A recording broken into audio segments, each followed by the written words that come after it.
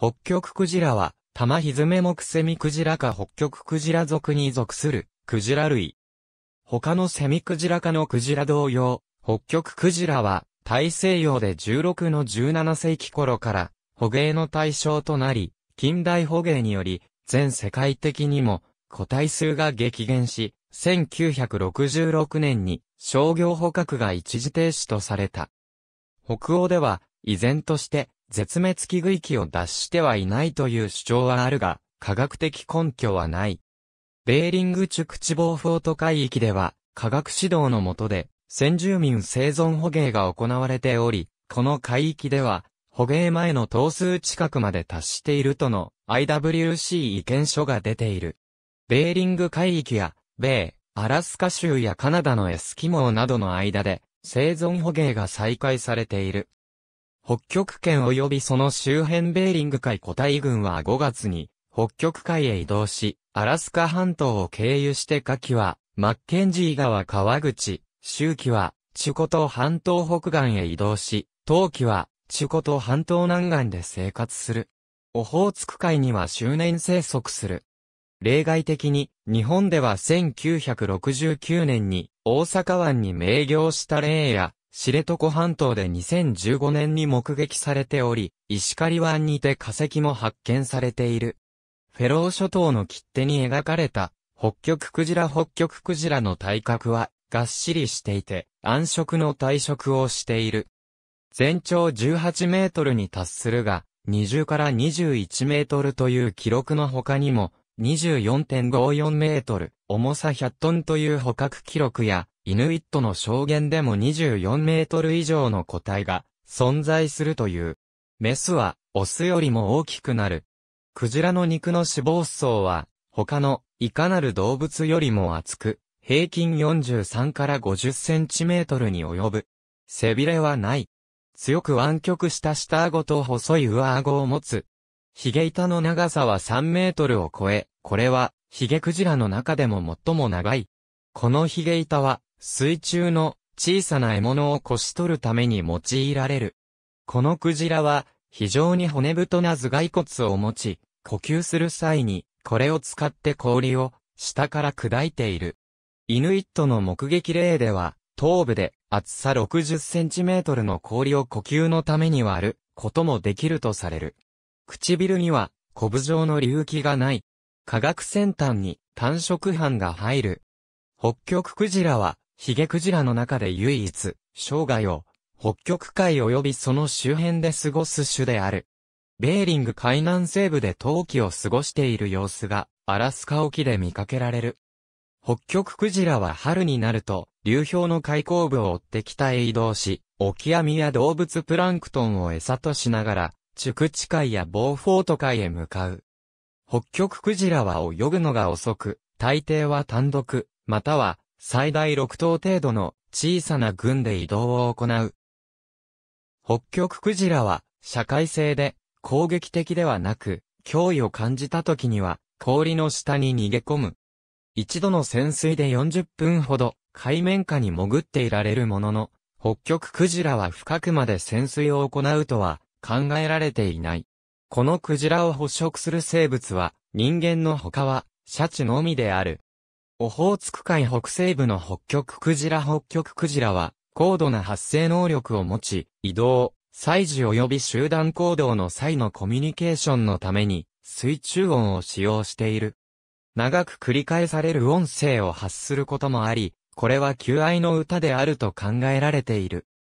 北極クジラの習性としては他に、水上に飛び上がって、体を水面に打ち付けるブリーチング、尾びれで水面を打つテールスラッピング、体を垂直にして水面から顔を出す、スパイホッピングなどがある。繁殖行動は一つ貝の間、あるいは数頭のオスと1から2頭のメスからなる、騒がしい集団内で行われる。繁殖は3月から8月にかけて観察される。繁殖活動は、クジラが10から15歳程度になった頃から行われるようになる。メスは3から4年に一度、13から14ヶ月間の妊娠期間の後に出産する。北極クジラの新生児は全長4.5メートル、平均体重 1000kg ほどで、最初の1年で9メートルほどに成長する。北極クジラの寿命は、かつては他のクジラと同程度の60から70年ほどと考えられていた。しかし最近の詳細な研究により、少なくとも数頭の個体は150から200年程度生きているという信頼のおける結論が得られた。その寿命の長さから、北極クジラのメスは、更年期障害に陥ると考えられている。大型の動物の観察が、この仮説の支えとなっている。オランダの捕鯨船員が北極において、北極クジラの捕鯨を行う様子が描かれた18世紀の版画。背景の山は、ヤンマイエン島のベーレンベルク山捕鯨の対象となった、北極クジラの主外北極クジラの骨格1500年代から大規模な商用捕鯨が開始され、生息数は激減した。20世紀初頭には乱獲による資源枯渇に伴い、商用捕鯨は終了した。商用捕鯨の終了に伴い、ハドソン湾、フォクシーズベースンバフィン湾、デイビス海峡の個体群は増加傾向にあると考えられている。北極クジラは脂肪を含む肉、鯨油、骨及びクジラヒゲを目当てに捕鯨の対象とされてきた。北極クジラはセミクジラと近縁で泳ぎが遅く死亡した後も水面に浮いているという捕獲に適した特性もセミクジラと共通している。このためかつてはセミクジラと同種とされ、英語のライトホエールは、北極クジラとセミクジラの双方を指す。19世紀半ばに同種か別種か議論が分かれていたことがわかる資料として、作者が捕鯨船員経験がある小説、白芸の第32章、クジラ学では、セミクジラの別名の一つに、グリーンランドクジラというものが挙げられているが、すぐ後の方で、イギリス人の言うグリーンランドクジラは、アメリカ人の言うセミクジラと別種ではないかとも言われているとも記述がある。アラスカなどの先住民は、古くからその捕獲を行ってきた。欧米による大規模商業捕鯨が行われる以前には、北極地方には5万頭以上の北極クジラが存在した。商業捕鯨は1611年にスバールバル諸島やグリーンランド付近で開始され、各海域の資源を枯渇させると新たな海域に移動した。北、太平洋では、商業捕鯨は1800年代半ばに開始され、その後20年間で北極クジラの個体数の60%以上が捕獲される結果となった。個体数減少の最大の原因であった欧米による大規模商業捕鯨は現在は中断しているが、米、アラスカ州やカナダでも先住民に原住民、生存捕鯨の許可枠が与えられている。カナダ東岸では、20世紀初頭に姿を消して、この種の捕鯨は途絶えていたが、個体がちらほら目撃されるようになって1996年の一頭を境に、ヌナブト準州で生存捕鯨が再開されている。ロシアのチュクチ族も1997年に IWC に働きかけて、当時、年間7回のストライク枠を獲得した。この捕獲は、個体数回復の妨げになるものではないとみられ、アラスカ沖における個体数は、商業捕鯨停止後は増加傾向にある。世界全体での個体数は1万頭程度で、商業捕鯨以前の1、5以下とする意見がある。これは、おおよそ正しいとされるが、遺説もある。実際の実況推計には、統計に大きな誤差幅や実施年度の時間差などがあり、加えて、商業捕鯨前の頭数を再現するにも、歴史的背景に不明な点があって、正確な記述は難しい。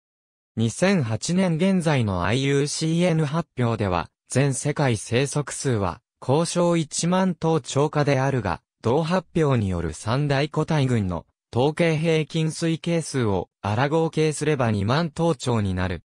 また、IUCN 発表では、捕鯨開始前の推定生息数は4万9000から5万9000頭の幅で推計されているが、ここでも絶対確定できる数は、少なくとも2万4000頭超過であるという。バスク人が西大西洋で捕鯨の対象にしていたクジラ種に、北極クジラが含まれるかなどが不明点であるため、特定が困難とされる。米、カナダでは、先住民による、北極クジラの生存捕鯨が若干数、許されているため、日本捕鯨推進派からは、これは、米国の絶滅の危惧にある種を保護する、捕鯨政策の矛盾点として取り上げられることがある。2000年代に、日本のメディアにおいて、北極クジラを北極セミクジラと英名を直訳した誤訳の報道をした上で、早急な保護が必要な絶滅危惧種と遠曲な報道をし、米国の生存捕鯨をダブルスタンダードと印象づけ、世論に反映させることとなった。1975年のワシントン条約発行時から、付属書愛に掲載されている。ありがとうございます。